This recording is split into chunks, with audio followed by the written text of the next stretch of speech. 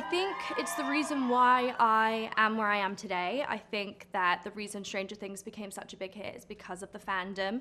And then when I made Enola Holmes, that became a whole nother fandom of people that loved and supported the things I did. And uh, there's no event that wouldn't be, you know, kind of a Millie event um, without fans. And I think, you know, it's a, it's a great community of young girls and young people that are able to come together and really celebrate uh, the story of Enola Holmes.